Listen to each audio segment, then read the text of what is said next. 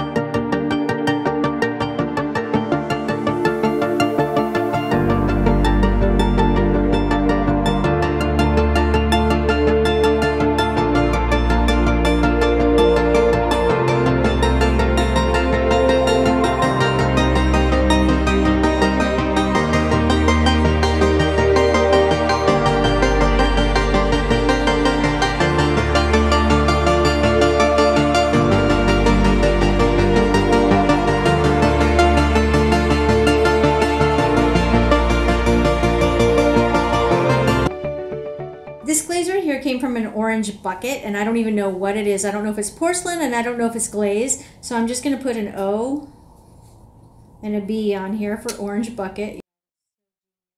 And then uh, I am going to cover this also with that same glaze to see if I can see through it. If it's, the, I'm not sure if it's a transparent or if it's actually just, like I said, clay.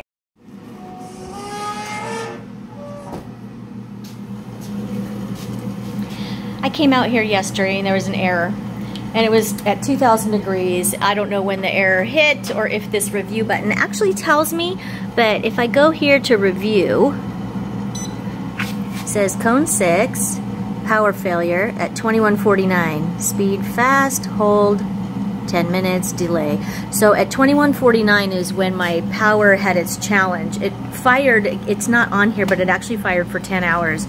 So I think that's what that programmable thing is telling me right now, but let's just see how everything turned out. Interesting, that is actually my cone 6 cone. Um, I didn't have any more cone 5s and I figured that would tell me basically, I know it at least went to cone 5 because that's starting to bend. The most interesting thing I wanted to find was this didn't even bend at all, but it's also not white. So I'm not sure what that's telling me. I'm gonna probably fire it again when I do the next high fire. I'm just gonna hold this to the side for a bit. This is how the black porcelain turned out. I cannot believe how great this turned out. I'm so excited to get started using it. This is the white porcelain. Uh, it's not as white as I thought it would be, but then again, it also didn't fire up to cone, so there, there still could be more to it. I used um, the Celadon Mixing Clear, and that is the shiny side of each piece here. Um, they turned out really great. I have a, a matte side, which is unglazed, and then this. This one is the one that I thought was Colonial White. This one is the Orange Bucket. I found out this actually is Colonial White.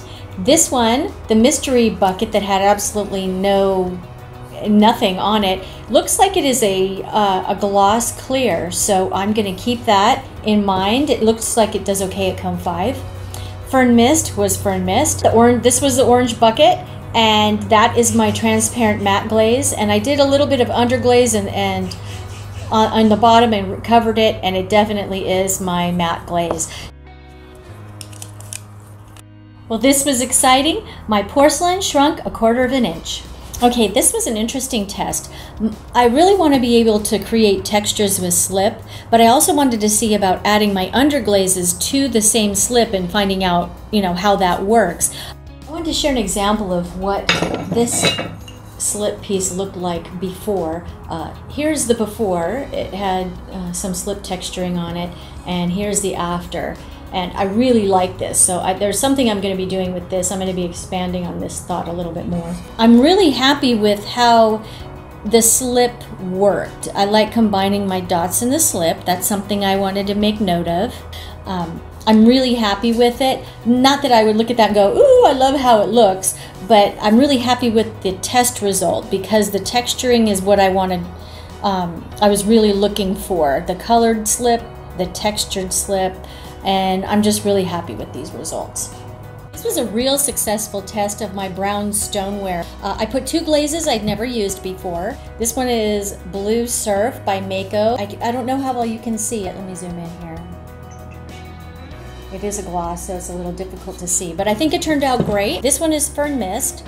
I used this most recently, uh, probably about seven years ago, on my 365 project. Uh, I love how this one turned out. I'm so excited, which has now caused me to want to use and keep my brown stoneware. These are my little relaxation dishes. When I make these, they're just so relaxing. That was also part of this glaze load. Before I go, I wanted to share an answer to someone's question on how I, where I got my molds from. I don't use plaster. I prefer to make it out of clay and then bisque fire it and use it then because it will still absorb moisture. Uh, this one right here I threw on the pottery wheel and I just trimmed it smooth on the top. Same with this one, threw it on the pottery wheel and just trimmed it real smooth. Uh, this one right here, I actually did in another video, and I'll just put a link below. I'll just put uh, hump mold demo and go ahead and click that and I'll share how I did that. This one right here was actually just uh, a chunk of clay I put on the wheel and trimmed the bottom. Then I scooped out the inside here to create a texture. If I wanted to use that as a texture, I could, but I wanted to make it a little thinner so when I put it in the kiln, uh, there wouldn't be any cracking and I wouldn't have a challenge with it. Well, that's it for this week's Hobby Potter Weekly. Thank you guys for watching. Come on over to the Facebook group if you want to participate in this month's project. I cannot wait to do it. I'm going to do that. I, I really want to do that first thing next week. And then also, if you have any questions, post them below. I'll be happy to try and give them the best answer I can. And subscribe if you're looking forward to seeing future videos. Thanks for watching, and we'll see you next time.